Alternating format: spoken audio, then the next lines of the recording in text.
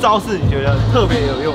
就做一点试探步，然后又不要那么复杂，就试探步，直接空档就过这样上来。不会先有空档，也可以跳投那些。那这边是算是你最常在最常在这边练习的，投起来感觉怎么样？就平跟平常一样，没有差。哎呦！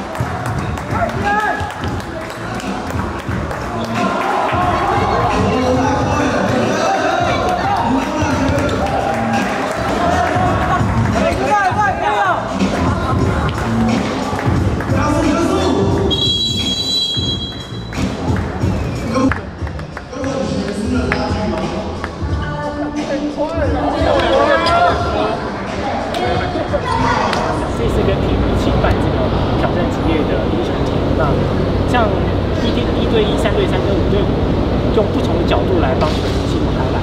当初是怎么促成的？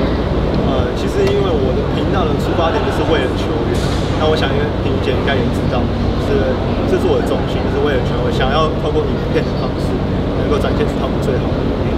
那因为 S 六选秀也快到了，那婷姐就来稍微询问我一下意愿，那我二话不说就我一定做。我觉得这是一个很好的想法。那透过一对一三三五对五就是比较实战的画面把它最好的一面留下那给观众看一下。我也会让你知道他们是来自哪里什么大学。对选秀其实很现实。那如果选不上我觉得你们的表现你们的好还是值得让大家知道。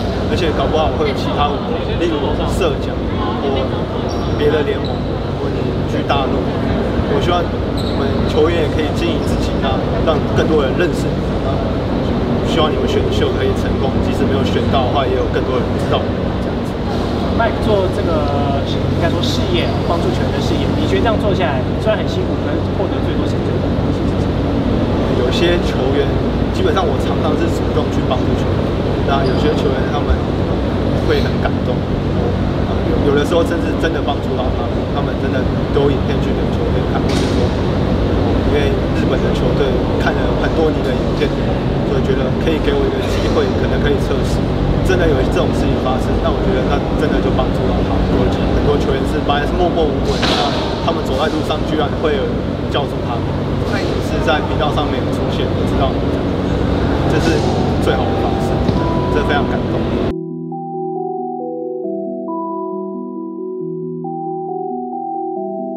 I've been buying rings like I'm Kobe.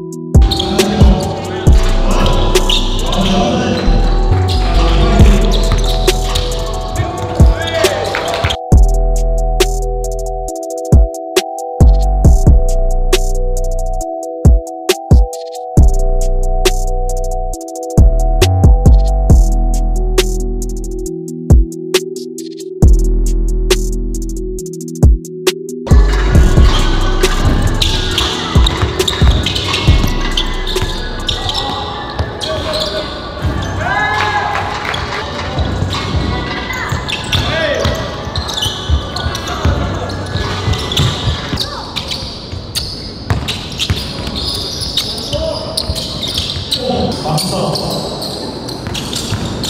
와세 와세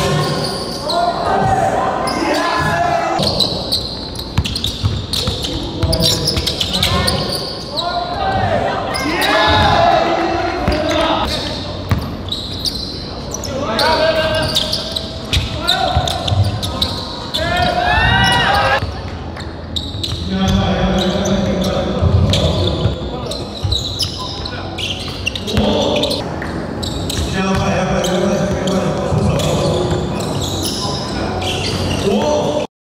问一下，你们在场上怎么样可以打这么顺？有什么样的？你们怎么样沟通的？就我们把空间挪出来，然后让大家有机会就可以投，然后有机会就传，然后就是我们不会说谁的机会就不会说谁也一定要给谁，然后谁就拿到球就有机会就叫他出手，嗯，就出手，就自然而然就那个就那个就慢慢顺起来。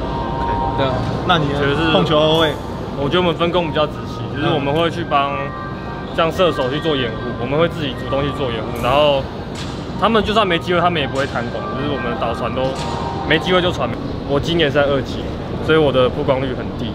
我觉得这个活动就是会让我们，就是假如说像我这样的球员的话，会有一个很棒的曝光曝光的场所，而且就是直接对打，不会说是。就是可能有其他的，就是直接对打，看你可不可以。嗯，对，有机会就把握，没机会那就就是跳到别的行业试看看的，不要到以后会后悔说当初应该来努力看看。至少有试过。对，让其他人看到我们那些那些球技，对然后让我们这些拼劲，然后让其他球团看到说，哦，原来我们也是也是能能做到的。毕竟他们能做到，我们也可以做到。对对啊，让其实这个活动就是让我们知道说，我们该发发挥的地方在哪里，嗯，对，就发挥出来。好，对啊，希望你们可以找到自己的舞台。好，谢谢谢谢，谢谢麦克介绍一下自己。我是永春红国德联的球员。我是红国队的李祥伟，好，小伟不要害羞。这次参加这个活动有什么感想？蛮新鲜的，第一次参加这种活动。嗯，我觉得五对五吧，因为毕竟五球是又不是一个人在打，是五个人一起在场上一起进攻这样，所以可以看得出比较多细节的东西。希望大家都有机会可以选到，因为听说这一次好像蛮多人会有机会可以选上。对，哎呦，希望你也可以选到。你呢？我觉得这次选秀啊，因为我们现在也都是下礼拜吧，我们去北京练球，对，试试看，啊，然后对这次选秀就抱期待，期待，对吧？就是也是希望自己能选上，不要忘记初衷，对，还是爱你们篮球，对啊，希望你预祝你们选秀顺利，谢谢，谢谢，谢谢，谢谢，谢谢，谢谢，好。